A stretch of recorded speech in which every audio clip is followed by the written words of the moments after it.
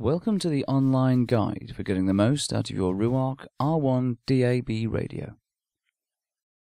To perform a system reset on your R1, press and hold the info button from any source until full scan appears on the screen.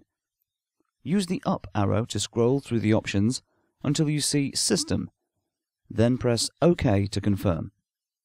Use the up button to again scroll through until Factory Reset appears on the screen and then press OK.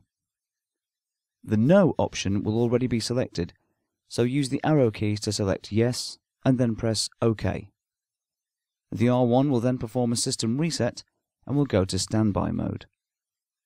When the radio is next turned on, it will perform a new scan of DAB stations.